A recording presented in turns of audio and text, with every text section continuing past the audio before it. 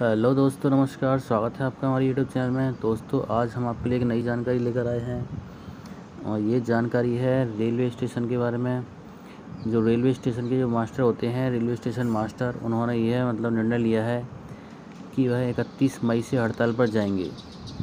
उनका यह निर्णय काफ़ी सोच समझ कर लिया गया है, क्योंकि उनकी संख्या कम है और काम अधिक है और काफ़ी संख्या में रिक्त पद खाली हैं।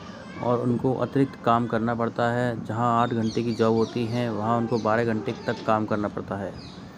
तो दोस्तों, ऐसे में उनको बहुत परेशानियों का सामना करना पड़ रहा है। अगर उनके परिवार में कोई बीमार होता है तो दोस्तों, उनको ही ड्यूटी पर जाना पड़ता है। हारी बीमारी में भी जाना पड़ता है, दोस्तों। वे बहुत अधिक दुखी हैं। बहुत सोच समझ कर ये फैसला लिया गया है। अगर दोस्तों, आप कहीं जाना चाहते हो तो इकतीस तारीख को आप बिल्कुल ही घर से ना निकलें। क्योंकि रेल वालों ने अपना हड़ताल कर दी है।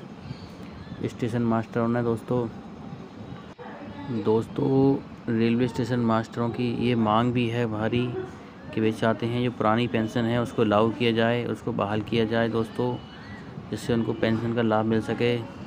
और वे ये भी चाहते हैं कि जो रेलवे का निजीकरण है, उसे भी रोका जाए। वे नहीं चाहते कि रेलवे को बिल्कुल प्राइवेट कर दिया जाए। वे चाहते हैं कि सरकारी है तो सरकारी ही रहे। हमारे देश की संपत्ति है, ये देश देश में ही बनी रहे, ये बिके नहीं दोस्तों। दोस्तों, आप क्या चाहते हो उसके बारे में, आप हमें कमेंट करके ज़रूर बताएँ। आप देख सकते हो दोस्तों, रेलवे स्टेशन पर सन्नाटा सा छाया हुआ है। इसी तरह से दोस्तों 31 तारीख को 31 मई को 2022 में भी आपको उसी तरह का सन्नाटा छाया हुआ मिलेगा। कोई भी स्टेशन मास्टर कार्य करने नहीं आएगा दोस्तों। रेलवे का रेलवे का जो संचालन है, रेलवे का जो, वो भी बाधित रहेगा दोस्तों। दोस्तों, अगर हमारे द्वारा दी गई जानकारी आपको अच्छी लगी है तो प्लीज़ दोस्तों इस वीडियो पर एक लाइक और वीडियो को शेयर करना ना भूलें दोस्तों। वीडियो देखने के लिए दोस्तों बहुत बहुत धन्यवाद।